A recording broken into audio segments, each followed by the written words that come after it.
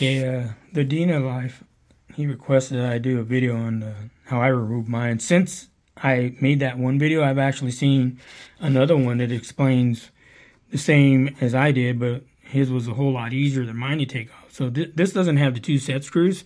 It has a small two millimeter set screw on the top. I don't know if you can see that. Yeah, right there, two millimeter set screw on the top. And you got to loosen that up. You don't have to take it out, but you do have to loosen it up. I've already taken off the the choke and the shroud right here. Make it a little quicker on the vid. And what I did is uh, I, I already made sure there's no, uh, it's not chambered. There's nothing in there. I, you know, strut the bottom. It's a pain in the butt to try to do this one hand. It's a heavy, it's kind of heavy, and I just cracked my thumb open at work, so kind of working here lame. But anyhow, back to this, uh, the, the handguard, it it didn't come off so easy the first time. So I got my hammer here. So what I did is, with the mallet, I tapped it right in here on the on the Picatinny rail, and with the mallet, I was just tapping it, and it came right off. But it, I mean, I'm not gonna say it was easy. I I really had to work it because it it wasn't coming off, and I was getting ready to take the rifle, the I'm sorry, shotgun back. So what I I suggest, you know, take a, a hammer and just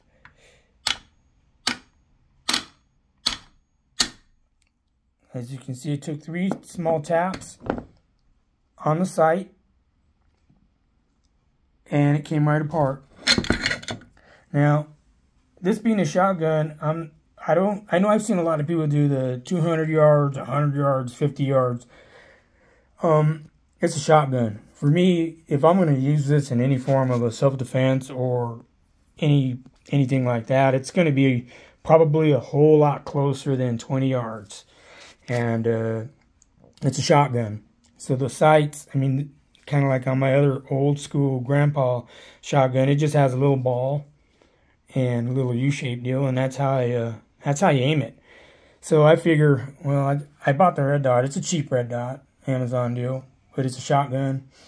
I don't want to spend too much money. It's a you know, three hundred dollar, three hundred fifty dollar shotgun. I don't want to spend a lot of money on it. Plus, I'm gonna go through a lot of those. This, another deal for you.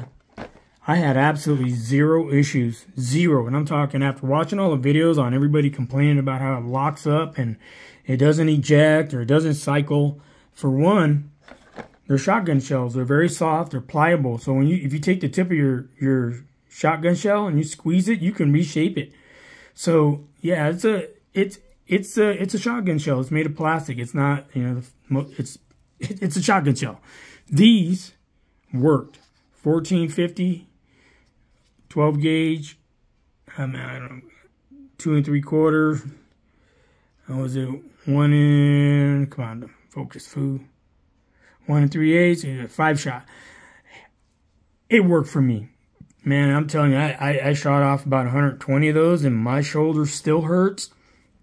But I wanted to get it broke in and I had zero defects I mean, everything ejected on the last round. It stayed back. Um, the bolt stayed back and locked in place. Um, what a blast. Uh, I, I, don't know if I'll post that video because I'm pretty goofy looking in it. And uh, I was so stoked when I was shooting it. It was like, holy moly, this thing, I've I've shot a lot of shotguns. It's, I mean, it's, it's for the price, it's a fun shotgun to, to have to shoot. And, and you know what? If you need it and you have the right rounds in it, I think it'd be pretty reliable. I had zero issues with 120 shotgun shells. Zero defects, zero anything. I mean, it loaded, everything was fine. Uh, I After watching all those videos where they had problems with it, I can see they were using the, the 1100, uh, what is it, 1100 feet per second or something like that, or 1200. Uh, I'm going to try, the next ones I'll try are 1300s, but these, these work. So if you're going to break it in, I suggest you break it in with these and uh, have fun, man. It's a it's a fun shotgun for the price. You can't go wrong. I mean, there's some some really nice ones out there. Uh, you know, twenty five hundred dollars if you want to spend it. But for me, because this is this is just gonna be like a toy to go out and blast stuff. I I think it's great, and who knows, I might end up having it for self defense. But for now, it's it's a plinker. And if you're going to just go out plinking and it's not like something you're 100% going to rely on for life and death, this is great. But even so, after my experience with it, hey, you know, I, I'd have this next to my bed in a heartbeat.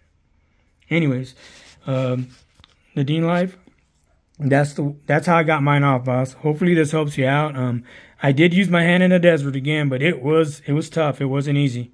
So good luck, boss.